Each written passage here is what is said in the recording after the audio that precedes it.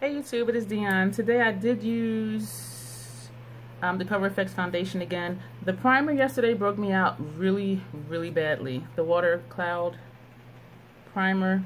I had red bumps here. I had red bumps here. My forehead, on my chin. This one was really angry. And so I washed my face. I used toner. And that's when I seen, I'm like, oh my God, like what happened to my face? Um, and then I exfoliated. So it wasn't as bad this morning, but it was still like a lot of red and little bumps. Um, Cover FX foundation, I used a Fenty setting powder and cashew. I did go back into the Cover FX Perfector face palette. Let me say it right this time. I used this highlighter over here. I used this brightener, this one here in the middle. Yeah, you see that right there? And that right there. And I went over it with powder and bronzer because it just looked really ghastly on its own. And it definitely is a brightener, but I cannot get rid of it. and I used the finishing powder as a blush. Um, for, for bronzer, I use Fenty Island Ting. And for a very, very, very almost there, not there contour, I use the NARS Laguna, and that is just right here. And for my lips today and brows, of course, the same as I did yesterday. And for lips today, I used my other Shiseido Lacquer Ink Gloss. This one is number 305. See, I put a label. 305 Red Flicker, and they describe the color as tangerine. And so it is true to what it looks like. So I'm really digging it.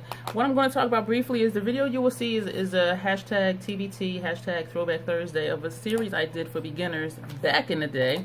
And I watched it and I wanted to note that there are some differences now from back then. Um, I said that you can only get the e.l.f. primer online. You can now get e.l.f. products in Target, um, Walmart, drugstores. I've seen them in shop right around the corner. So you can get e.l.f. products almost anywhere these days. Um, and I think I might actually go back to that primer. Hopefully they didn't change the formula, but that was a long time ago, so maybe they have. I don't know, because I'm having a challenge with finding a primer that works. And also, speaking of primers, they have spray primers now. Just like they have spray setting sprays. Spray setting sprays. Yeah, spray is a spray. You know what I mean. And also, I said that I use a candle holder for my foundation. And yes, it's dirty because I used it today when I did my foundation. I still actually use this. It's the same exact one that I use still for my foundation for the purpose of when I put it on the back of my hand, it starts starts to absorb on the back of my hand. I don't want to lose product, especially if the foundation is an expensive one, meaning like 30 plus dollars or 40 bucks. And in a video I used, um, I mentioned that I used um, setting powders or a powder foundation sometimes to set my liquid foundation. I don't do that anymore. I don't even use um, that many powder products.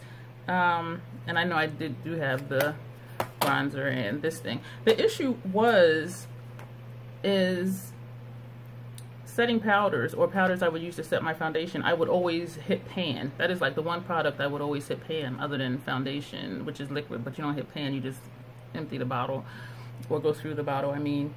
Um, so I've taken to using loose powders to set my foundation because I found out I was allergic to nickel. Not the five cent piece, but the, the nickel, the material, the chemical compound nickel. Well, actually, it's not chemical. It's like a natural compound. So like anything in a pan, and of course you can't see it because it's product in it. But in the video where I, I showed I hit pan, where you see the, sorry about the glare, where you see the pan through the product, part of that compound is nickel. And every time I would hit pan on a, a pressed product, my face would start to break out. And I couldn't figure out why. And so I was asking people, and somebody's like, well, you might be allergic to nickel. I'm like, what are you talking about? And it turned out that's what it was. And so I no longer use powder foundation or a pressed powder to set my foundation and it's been a lot better and I think by time I get to something that isn't a compact because I have powder on and whatever else on it's not as close to my skin and it's not getting in into my skin to cause a breakout. So anyway, thanks guys for watching. If you have any questions, just let me know. And I hope you enjoy the video. Um, the next two weeks, I'm looking one, two, three, one, two, three, four, five. I have a total of five more Throwback Thursdays, but I'm not going to post them all. Um, but I'm definitely going to do the setting powder and the blush one. And the bronzer. And brows. And eyeshadow. I'm talking way too long. Thanks for watching, guys. Bye.